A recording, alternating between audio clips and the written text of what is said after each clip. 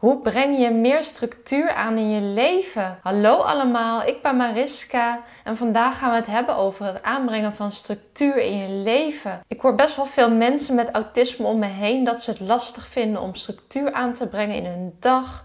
Dat ze niet weten hoe ze hun dag moeten indelen. Dat ze gewoon ook wel ja, veel thuis zitten. En ja, dat is gewoon best wel moeilijk. Ik heb zelf een tijd thuis gezeten en ik had op dat moment ook geen dagbesteding of wat dan ook. En ik merkte ook wel dat ik op een gegeven moment ja, eenzaam begon te worden, somber. Ja, ik wist gewoon niet meer hoe ik mijn dagen moest vullen. En dat was gewoon echt niet fijn. Ook met de naderende zomervakantie, ja, dan heb je natuurlijk ook dat er ja, bepaalde dingen wegvallen. Misschien gaan bepaalde cursussen niet meer door of andere dingen die je normaal gesproken doet.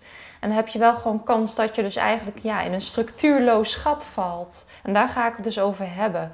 Want hoe kun je daar nou mee omgaan? Zorg voor een vaste routine. Het allerbelangrijkste voor meer structuur is dat je een vaste routine voor jezelf creëert. En ja, dat kan natuurlijk best wel lastig zijn, want ja, misschien is dat juist het probleem dat je ook niet weet hoe je dat moet doen. En je kunt beginnen met het inplannen van je basisbehoeften. Dus zorg ervoor dat je op een vaste tijd opstaat en op een vaste tijd naar bed gaat. En verder kun je ook zorgen dat je op vaste tijden eet. Nou, ik zelf ontbijt het altijd eigenlijk. ja, dat vind ik gewoon wel het belangrijkste maaltijd van de dag. Dus na het opstaan dan eh, ga ik ontbijten en koffie drinken. En zo rond 12 uur, half 1 ga ik dan lunchen. En dan meestal rond na half 6, 6 uur ga ik avondeten. En door deze eetmomenten in te plannen en dus ook het naar bed gaan en het slapen, zorg ik al voor een bepaalde indeling van de dag. Want ja, tussen al die momenten heb je dan zeg maar van die lege vlakken die je kunt gaan vullen met een of ander.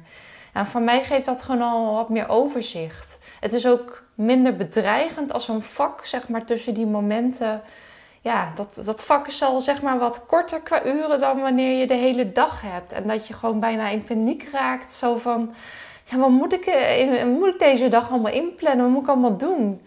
Ja, dat kan gewoon heel erg eh, bedreigend zijn. Zelf heb ik deze routine ook een beetje uitgebouwd. Want ja, het zijn niet meer alleen het slapen en naar bed gaan en de eetmomenten. Ik heb bijvoorbeeld ook nu als routine dat ik, als ik klaar ben met koffie drinken s ochtends, dat ik altijd even de konijnen verzorg. Dus uh, ja, vers water geven, de keuteltjes opruimen, hooi geven eventueel de wc'tjes verschonen. Dus dan heb ik eigenlijk al meteen, als ik ben opgestaan, na de ochtendroutine, heb ik eigenlijk meteen al ja, iets wat ik standaard doe. Dus daar hoef ik niet over na te denken. En ik merk ook wel, zodra je eigenlijk begint na te denken van wat moet ik vandaag allemaal gaan doen, ja, dan heb je dus ook het risico dat je, ja, dat je je vervelend begint te voelen. Want dat nadenken en dat moeten kiezen, ja, dat is niet fijn. En de routine voorkomt dus dat je moet nadenken. Verder ga ik na de lunch vaak ook even wandelen. Dan moet ik wel zeggen dat dat ook wel per moment kan verschillen. Want ja, als het net prut weer is, ja, dan dan stel ik dat vaak even uit. Of ik ga met een eh, paraplu wandelen. En soms heb ik ook al andere bezigheden. Dus dan kan het zijn dat ik later op de dag ga wandelen. En soms heb ik voor de lunch al gewandeld. Dus dat kan bij mij wel een beetje schuiven. Maar het feit dat ik elke dag even naar buiten wil, dat is het wel. En soms ga ik ook gewoon op de fiets boodschappen doen. En dan is dat mijn beweging. Maar ik wil in elk geval dagelijks een beweegmoment hebben. Dus dat is eigenlijk al een doel die ik elke dag heb. Plan de dag tevoren een bezigheid of doel in. Wat mij heel erg heeft geholpen is een dag tevoren na te denken over wat ik de volgende dag ga doen. Want op het moment dat ik zeg maar opsta en nog niet weet wat ik ga doen die dag, ja, dat kan best wel vervelend zijn. Want dan ga ik inderdaad malen en dan. Het kan ook zijn dat je dan gewoon blokkeert omdat je per se iets wil bedenken en dan kom je er dus gewoon niet meer op. En een dag tevoren, bijvoorbeeld de avond of iets, ja, dan ben ik bijvoorbeeld bezig met mijn eh, bullet journal. Aan het kijken van wat kan ik morgen gaan doen. En vooral als ik een dag dus uh, de volgende dag niks gepland heb, vind ik dat gewoon wel fijn. Dan uh, denk ik van nou, misschien ga ik morgen wel een video opnemen. Misschien ga ik morgen wel opruimen. Of nou, ik wil altijd dus wandelen. kan ook zijn dat ik denk, dan ga ik de keuken schoonmaken of een plafond witten. Nou, er zijn altijd wel taken die je kunt doen. En als ik ook weet dat het mooi weer wordt, dan kan ik bijvoorbeeld eh, beslissen om de ramen te gaan lappen of in de tuin te gaan werken. En dus op het moment dat ik opsta, dan weet ik al van, oh ja, vandaag ga ik dit of dat doen. Hoef ik dus niet meer over na te denken en dan heb ik meteen rust. Als je het lastig vindt om bezigheden voor jezelf te bedenken, dan kan het ook helpen om daarvan een lijst te gaan maken. Ik heb zelf ook een tijd gehad dat ik gewoon echt ja, niet wist wat ik allemaal op een dag moest doen. En dan blokkeerde ik dus ook weer. En toen heb ik op een rustig moment een lijst gecreëerd met allemaal bezigheden die ik zou kunnen doen. En dat was heel erg uiteenlopend. Dat was, waren dingen als schoonmaaktaken, dus uh, dweilen, ramenlappen, afstoffen. Maar het waren ook hobby's, uh, schilderen, tekenen, maar ook bijvoorbeeld yoga. Uh, ja, wel bijvoorbeeld oefeningen doen, krachtoefeningen. Die wil ik ook wel op een dag altijd doen. Die zijn bij mij trouwens ook al in de routine. Dat is altijd rond een uur of zeven, half acht. Maar als je dan zo'n lijst hebt met bezigheden, dan op het moment dat je vastloopt, dat je het niet meer weet, kun je die lijst erbij pakken. En dan kun je dus gaan kijken van nou, welke taak spreekt mij het meeste aan? Of welke bezigheid spreekt mij het meeste aan? Het kan ook zijn dat je wil gaan gamen. Of eh, gewoon even op Netflix iets kijken. Het kan ook zijn dat je gewoon even rust gaat pakken. Rust kun je trouwens ook inplannen. Ook belangrijk. Dus ja, dan hoef je dus niet meer vast te lopen. Ja, en als je echt, dat heb ik ook wel eens gehad. Ik keek naar die lijst met taken, had ik gewoon echt nergens zin in.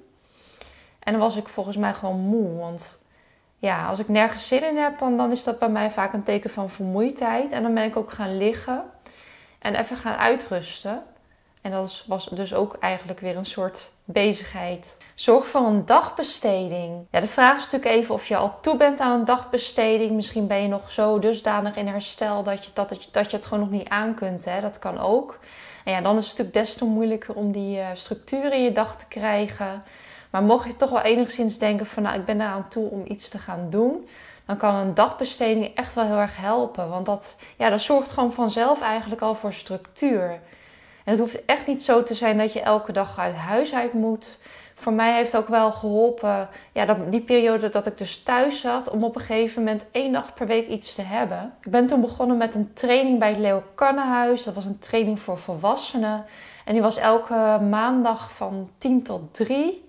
Dus ik was eigenlijk gewoon een groot deel van de dag was ik weg. Ja, het feit dat ik die training wekelijks had, gaf mij al een gevoel van dat ik een doel had in het leven. Dat ik iets had waar ik zeg maar elke week ja, vast naartoe ging.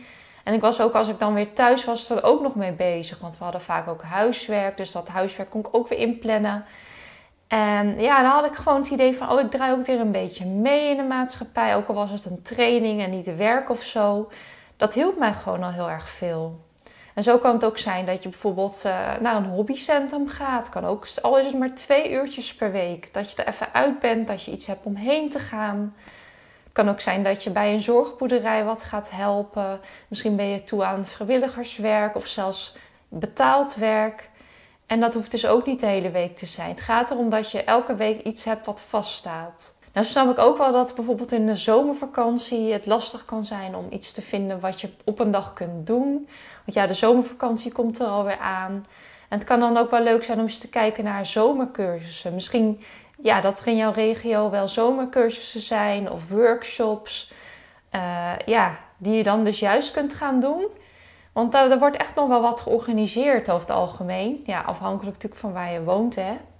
Maar misschien zijn het wel online dingen. En bepaalde online cursussen kun je altijd starten. Hè? Als je zegt van nou, ik wil bijvoorbeeld een keer een online cursus fotografie gaan doen of een taal leren.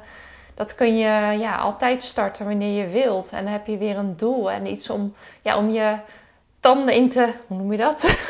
om in vast te grijpen. Maak gebruik van hulpmiddelen. Ja, voor het plannen van de dag of de week kun je allerlei hulpmiddelen gebruiken die je dus kunnen helpen om structuur te vinden wat ik wel vaak hoor van mensen is dat ze een, een planbord hebben. En een planbord kan bijvoorbeeld gewoon een whiteboard zijn met gewoon de vakjes eh, van de week en bepaalde taken die je daar dan inplant. Dus je kan daar standaard al de schoonmaaktaken in zetten of bepaalde afspraken die je al hebt. Er zijn ook bepaalde planborden waar je pictogrammen op kunt doen met taken.